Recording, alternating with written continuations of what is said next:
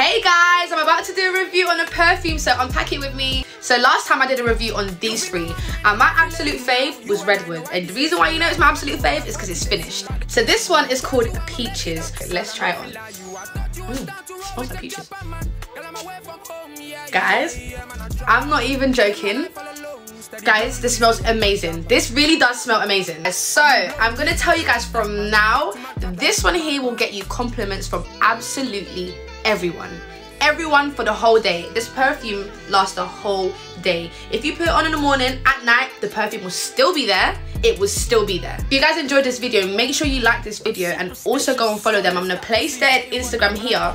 Make sure you follow them. Make sure you get this perfume. The summer is coming up. This is the perfect fragrance for summer. I hope you guys enjoyed this video just as much as i enjoyed making it. Thank you if you guys thought I was joking, guys, how does the perfume smell? Amazing. It smells like peaches, but better. Literally. So if I didn't give you a good enough reference, then hear it from them. Yeah?